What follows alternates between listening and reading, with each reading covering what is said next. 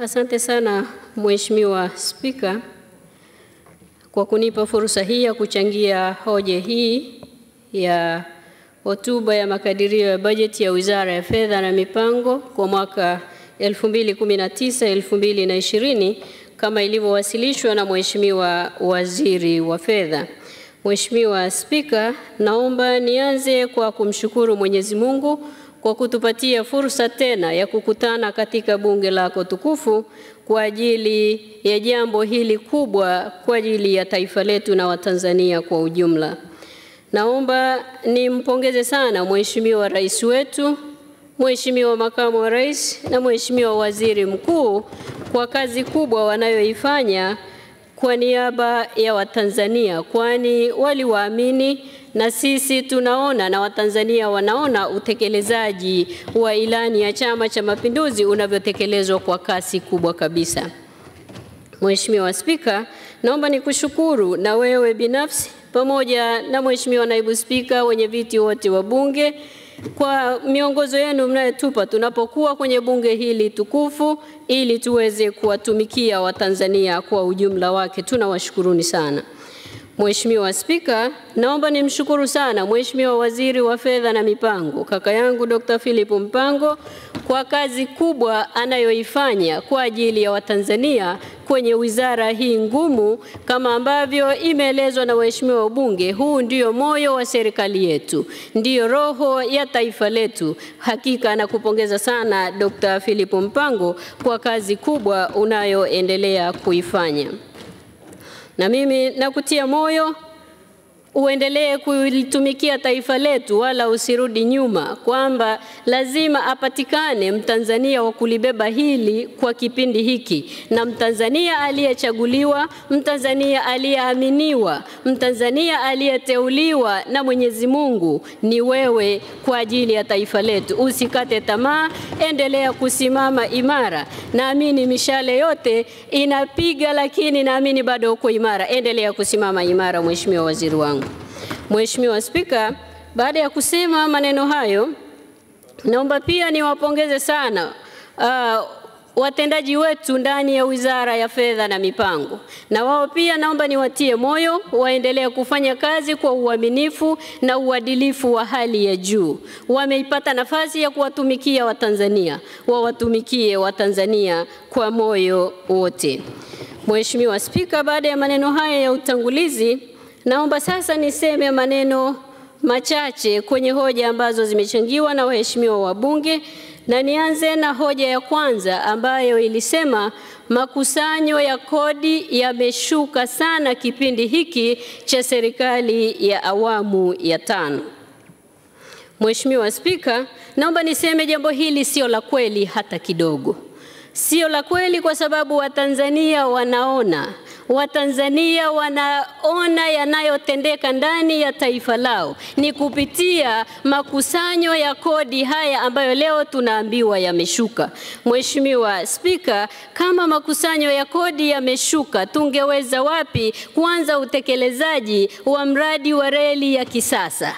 Mheshimiwa Spika, isingewezekana hata kidogo. Mheshimiwa Spika, isingewezekana leo hii Stiglas Gorge kule Rufiji ime mradi ule umeanza kutekelezwa kama makusanyo yangekuwa ni ya chini kama inavyodaiwa kwenye bunge hili tukufu. Niwaombe waheshimiwa wabunge tuwape moyo watumishi wetu wanaoshughulika na kazi hii ngumu ya ukusanyaji wa mapato ya taifa letu. Wanaifanya kazi hii katika mazingira magumu, wanaifanya kazi hii kwa kujitolea maisha yao. Ni kazi ngumu, ni kazi yenye vihatarishi vingi, lakini wanaifanya kwa nguvu zao zote.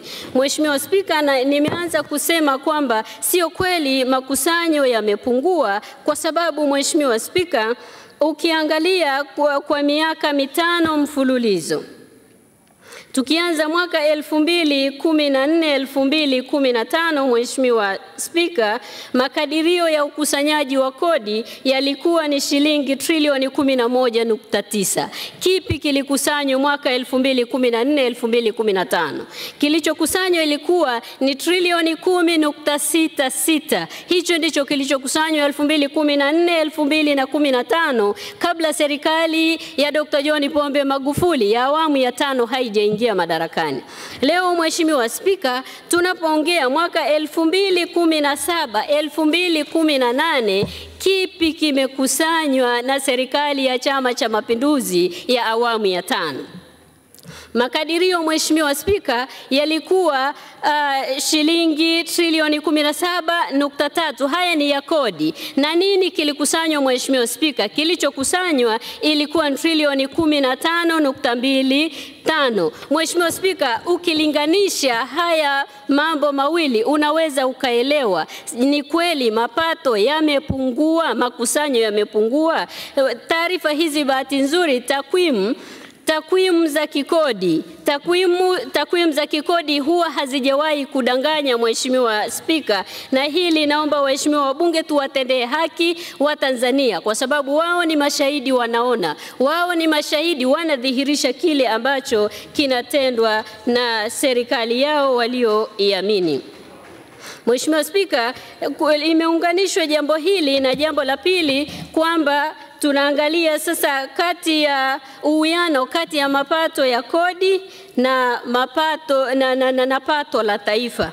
Anasema kwamba limepungua. Mheshimiwa Spika, ni kweli asilimia kumi na Uh, uwiano wa kodi dhidi ya pato la taifa kutoka asilimia 13.2 mwaka 2016 2017 hadi imefika pato la taifa asilimia 12.8 kwa mwaka 2017 18.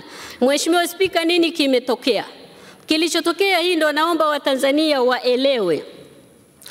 Mama, calculation hizi zimefanyika kwa kufata rebasing ambayo ni, ni ni marekebisho yaliyofanywa kwenye takwimu za pato la taifa kwamba yamefanywa mabadiliko, na kama tusingetumia rebasing, mabadiliko ya takwimu za pato la taifa, mchango uwiano kati uwiano wa kodi dhidi ya pato la taifa ilikuwa ni asilimia tatu nukta sita. Kwa hiyo kama tungetumia mwaka wa kizio wa elfu mbili na saba uwiano huu usingekuwa umepungua.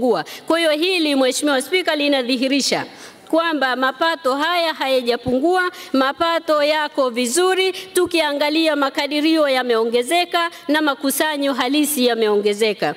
Kwa hiyo tuwatendee haki wa Tanzania, tuwaeleze ukweli kile ambacho serikali yao walioiamini, kipi serikali inafanya. Mheshimiwa Spika, naomba niseme kuhusu jambo la pili, nayo ni kuhusu ofisi ya msajili wa hazina kwamba ofisi hii bado haijaonyesha uimara wake kwenye kusimamia kwenye kusimamia kampuni na mashirika ya umma. Mheshimiwa Spika, naomba kulihakikishia bunge lako tukufu kwamba ofisi ya msajili wa hazina kwa sasa ni imara sana na sisi sote ni mashahidi, tunaona utendaji mzuri wa watumishi wetu kwenye ofisi hii.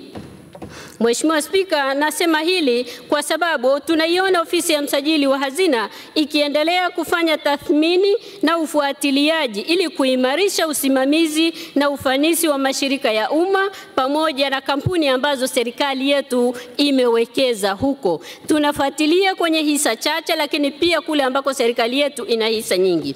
Mheshimiwa Mwenyekiti, Mheshimiwa Spika, matokeo ya hili tumeona kabisa kwamba hata mapato yaliyokusanywa kutoka kwenye gawio, kutoka kwenye kampuni hizi na mashirika ambapo serikali yetu ina hisa yameongezeka kwa kiwango kikubwa sana. Mheshimiwa Spika, kwa mfano kwa mwaka huu 2018 2019 ambapo hadi, elfu, hadi tarehe 30 Aprili 2019 ofisi ya msajili wa hazina ilikuwa imekusanya shilingi bilioni 602.64 ikilinganishwa na ilichokuwa kimetarajiwa kukusanywa ambayo ilikuwa ni shilingi bilioni 597.77. Hii tunaiona Mheshimiwa Spika ni, ni zaidi ya asilimia mia moja na moja na hii ni, ter, ni, ni tarehe 30 Aprili. Je, tukienda mpaka tarehe 30 Juni, Mheshimiwa Spika, tunaiona ofisi ya msajili wa hazina ikiwa inafanya kazi yake vizuri katika kipindi hiki. Mheshimiwa Spika, ofisi ya msajili wa hazina inaendelea pia kushughulikia ukaguzi maalum katika taasisi ambazo serikali yetu ina hisa chache ambapo tayari mpaka tarehe 30 tulishakagua taasisi 33 na tayari mapa, tumeona mapungufu yaliyokuwa yamebainika na mapungufu hayo yanaendelea kufanyiwa kazi, Mheshimiwa Spika, ili sasa tuweze kuona taasisi hizi na mashirika haya yakifanya kazi kwa tija kwa ajili ya Watanzania. Mheshimiwa Spika, Serikali yetu pia imechukua hatua mbalimbali. Haya, haya yote yasingewezekana kama serikali isingeimarisha ofisi hii ya msajili wa hazina, na serikali inaendelea na mambo mbalimbali kuhakikisha ofisi hii inaendelea kuwa imara ili tuweze kupata faida kwenye taasisi na mashirika haya ambayo tumewekeza. Kwa mfano, serikali tayari imeandaa waraka wa baraza la mawaziri wenye lengo la kurekebisha sheria ya ofisi ya msajili wa hazina ili kuendelea kuimarisha zaidi ili iweze kufanya kazi kwa tija zaidi kwa ajili ya Watanzania wote. Lakini pia tumeona serikali yetu imeongeza bajeti ya kutosha kwenye bajeti ya maendeleo kwenye ofisi hii ya msajili wa hazina hadi kufikia shilingi bilioni mbili nukta tatu kwa mwaka wa fedha 2019 2020 kutoka, tri, kutoka bilioni moja nukta sita tu zilizokuwa za mwaka 2018 2019. Hii yote inalenga kuimarisha mifumo ya usimamizi ya kielektroniki ili tuweze kuyafuatilia mashirika na taasisi ambazo tumewekeza kama serikali yetu. Mheshimiwa Spika, kuhusu utendaji wa ofisi ya msajili wa hazina, liko jambo ambalo limehojiwa nalo ni malipo ya mafao ya wastaafu elfu moja na sabini na moja wa TAZARA yamefikia wapi? Mheshimiwa Spika, nampenda kuliambia bunge lako tukufu kwamba kundi la kwanza ni la wastaafu 1172 walioacha kazi baada ya muda wao wa kustaafu kutimia kama ambavyo ilivyoainishwa katika makubaliano ya pamoja kati ya TAZARA na watumishi hao. Hivyo basi, kwa kuwa wastaafu hao hawakustahili kulipwa kiinua mgongo kwa sababu walikuwa wametimiza vigezo vya kupata malipo ya pensheni ambayo yanaendelea kulipwa kila mwezi. Mheshimiwa Spika, kulikuwa na kundi la pili ambalo kundi la pili hili la wastaafu hawa wanastahili kulipwa, ambapo serikali imeridhia kuwalipa kama ifuatavyo, na hatua za malipo zimefikia katika katika hatua mbalimbali. Mheshimiwa, kundi la kwanza, Mheshimiwa Spika, ilikuwa ni shauri la S Dagaa na wenzake 271 kesi namba 88 ya mwaka 2009. Hawa wa serikali imeridhia baada ya kesi kuisha waweze kulipwa shilingi trilioni moja nukta nne mbili mbili. Mheshimiwa Spika, kundi la pili ilikuwa ni shauri la Kiobia na wenzake ambapo se, serikali inatakiwa kulipa jumla ya shilingi bilioni 41 na milioni 549. Shauri la tatu, Mheshimiwa Spika, ambalo ni kundi la tatu wanaostahili kulipwa, ilikuwa ni shauri la Kasim Mshana na wenzake sabini na tisa ambapo jumla ya shilingi uh, milioni mia nane kumi na nne laki sita tisini na tano zinatakiwa kulipwa kwa ajili ya Kasimu Mshana na wenzake sabini na tisa. Mheshimiwa Spika, kundi la nne ilikuwa ni shauri la Kaduma na wenzake mia moja thelathini ambapo wanatakiwa kulipwa jumla ya shilingi bilioni nane nukta sifuri nne mbili. Mheshimiwa Spika, ofisi ya msajili wa hazina inaendelea kushughulikia malipo yao kwa makundi haya niliyoyataja na muda sio mrefu basi watalipwa ma, mafao yao kama ambavyo imeelekezwa na mahakama.